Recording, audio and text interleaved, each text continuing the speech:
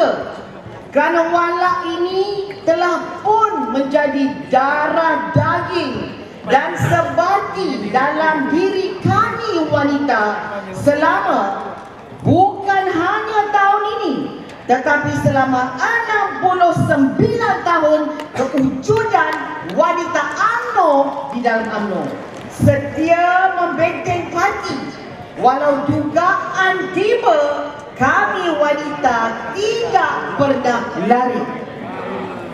Kesetiaan adalah rukun utama untuk perjuangan kami. Dalam bersahabat perlu ada setia. Dalam rumah tangga mesti setia.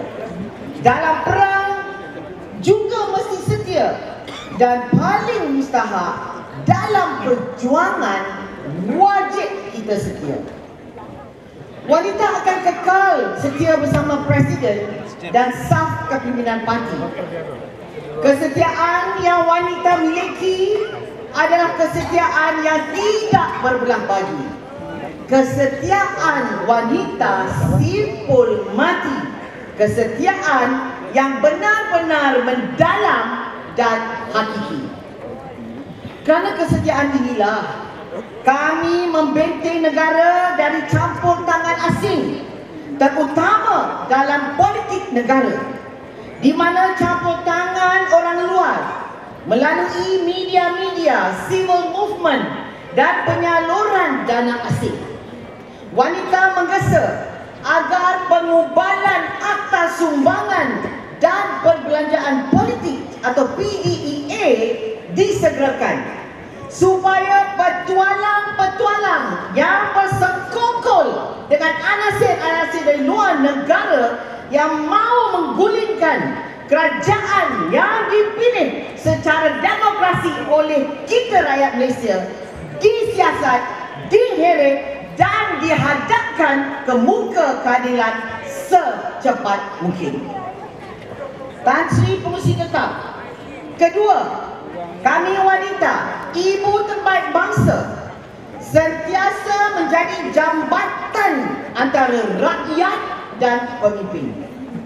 Jambatan ini dihubungkan oleh tidak kurang daripada 1.3 juta ahli wanita di lebih kurang 20 ribu cawangan di seluruh negara. Wanita percaya Datuk Seri Good economics is the best politics today. Kita mesti prihatin isu rakyat, isu keluarga mereka, dari isu harga minyak wan masak hinggalah isu pekerjaan untuk anak-anak muda, peluang-peluang untuk wanita, malah isu-isu syariah, isu-isu sosial seperti dadah dan lain-lain. Jika ini menjadi amalan kita, menjelang PRU14, percayalah tidak ada tumahan maupun fitnah yang boleh menghilangkan kepercayaan rakyat kepada parti kita Barisan Nasional. Dengan kecekapan pentadbiran ekonomi negara di bawah pentak di bawah naungan Menteri Keuangan merangkap Perdana Menteri di mana pertumbuhan ekonomi Malaysia alhamdulillah kekal stabil pada 4.1%. Malaysia mampu untuk mempertahankan kesejahteraan rakyat. Hari ini, ramai wanita menjadi ketua isi rumah. Saya berharap implementasi, bajet 2017 akan meningkatkan keupayaan ekonomi wanita dan pendapatan mereka. Selaku Ketua Wanita, saya nak minta kepada semua yang terlibat kementerian-kementerian Berilah peluang yang lebih untuk usahawan dan juga pekerja-pekerja wanita Sama ada dalam bidang profesional maupun semi-profesional.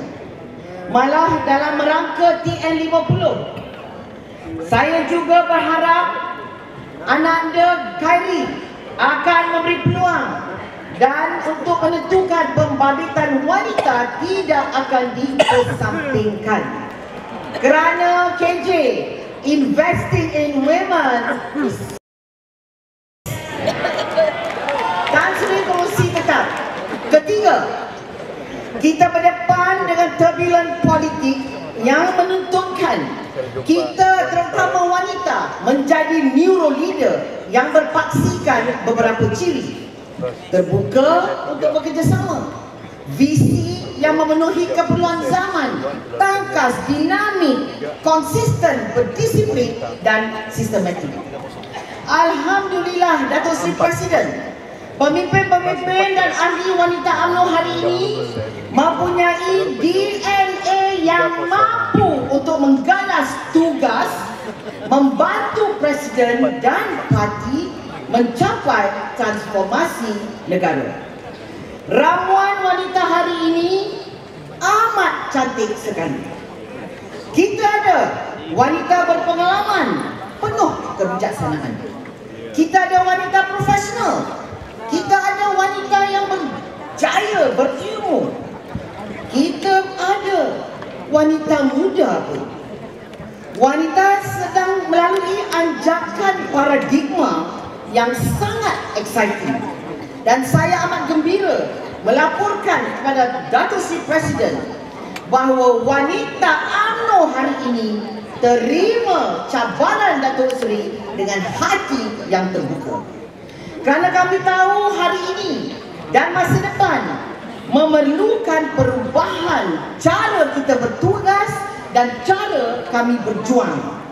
Jika tidak, benarlah kata Albert Einstein, kegilaan itu maknanya melakukan perkara yang sama berulang-ulang tetapi kita harapkan hasil yang berbeza. Mana boleh kan? Oleh itu, Expo Wanita telah mentransformasikan program-program kami di antaranya Jentera Jalinan Rakyat yang diketuai oleh wanita-wanita kini terdiri daripada ahli-ahli cawangan, pemuda, putri, orang perseorangan dan NGO-NGO juga. Terima kasih di atas keprihatinan Presiden di atas pengumuman skim perlindungan untuk jentera jalinan rakyat. Terima kasih Datuk Sri.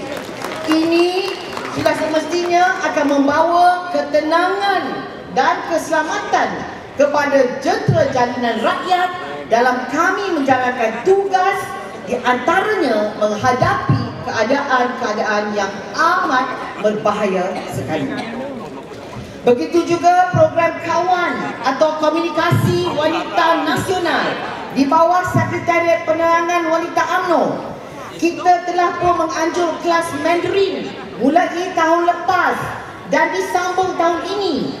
Kita dah mula kelas bahasa Tamil dan bahasa Arab untuk memperlengkapkan diri jentera jalinan rakyat. InsyaAllah program kawan ini akan diturunkan ke peringkat negeri dan bahagian-bahagian bersama-sama dengan program inovatif dan kreatif Sri Kandi Swadaya di bawah wanita UMNO.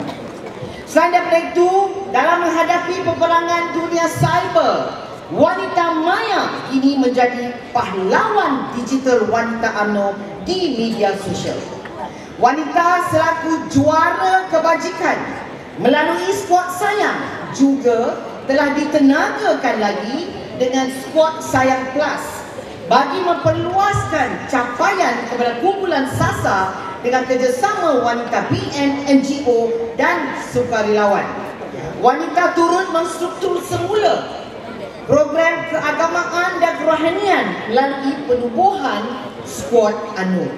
InsyaAllah Datuk Seri Presiden Wanita akan terus menyediakan platform yang segar dan mesra zaman meretasi generasi ke generasi. Akhir sekali, Yang Amat Berhormat, di malam Yang Amat Berhormat Tan Sri Muzi Hitam. Kami wanita ingin ucapkan terima kasih di atas penghargaan standing ovation daripada Presiden dan Lautan Biru pemimpin tertinggi serta perwakilan parti dua hari dahulu.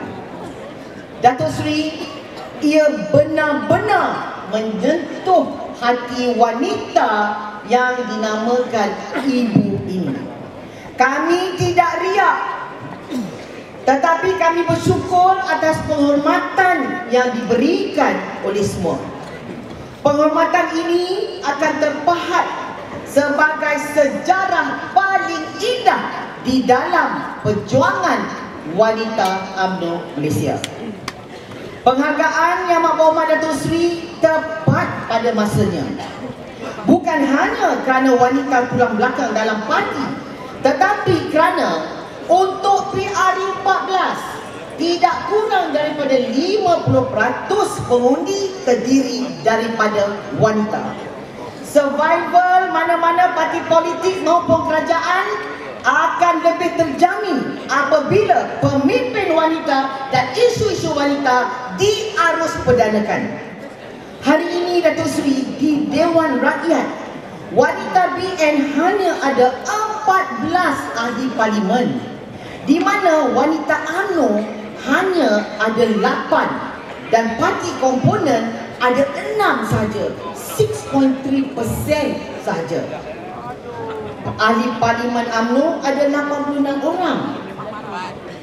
Dan di Dewan Negara wanita UMNO ada hanya 8 senator wanita daripada parti komponen ada 3 total kerusi 63 di Dewan Undangan Negeri pula kita hanya ada 25 wanita daripada ini 5 daripada parti komponen maka semasa perasmian wanita pemuda dan putri apabila Datuk Seri Dr. Zahid Hamidi kata nak bisik kepada Presiden untuk 30% calon wanita kami bukan hanya menyambut baik terima kasih Datuk Seri Dr. Zaid Hamidi ya.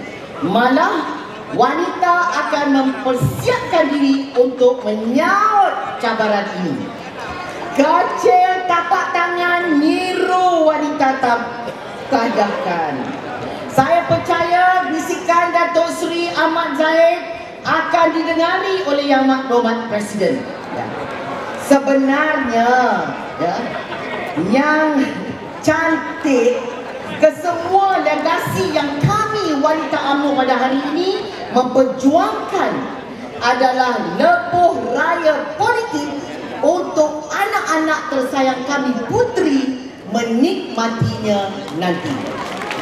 Untungnya putra putri sayang ibu tak pernah bertepi kasih ibu ke jannah abadi biar sakit-sakit ditelan perit demi parti ibu akan bagi Dato' Sri jika seruan 30% itu menjadi kenyataan ia akan benar-benar ya menukar lanskap politik Barisan Nasional untuk membawa Barisan Nasional ke satu tahap yang lebih mantap dan bermakna.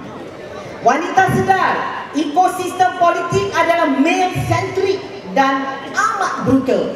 Wanita terima hakikat ini daripada laporan yang Exco wanita terima dan awasi parlimen yang berprestasi tinggi dalam persiapan menghadapi PRU adalah parlimen di mana ketua-ketua bahagian memberi sokongan dan kerjasama kepada wanita, pemuda dan puteri saya nak ucapkan terima kasih kepada ketua-ketua bahagian yang DNA seperti ini yang mengikut jejak presiden kita di mana semangat perjuangan beliau amat berkhidmat sekali.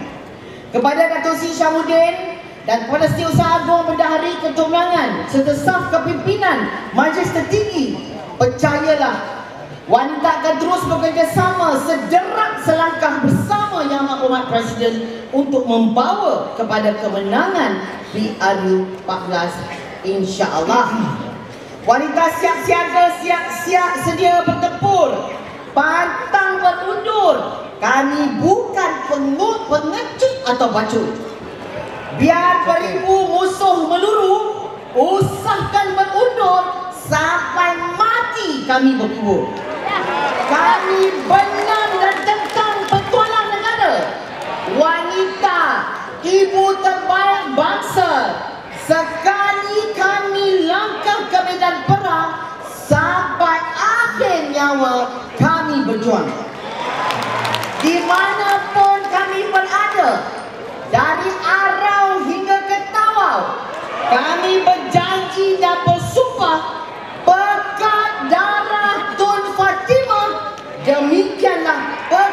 semangat wanita membenting maruah. Ganda PRU degil di Palu. Teriak jihad kuat berseru. Wanita tidak gusar, tidak gentar. Walau datang badai gelora atas nama agama bangsa dan negara, kami wanita terus berdiri sebagai ibu terbaik bangsa. Sekian,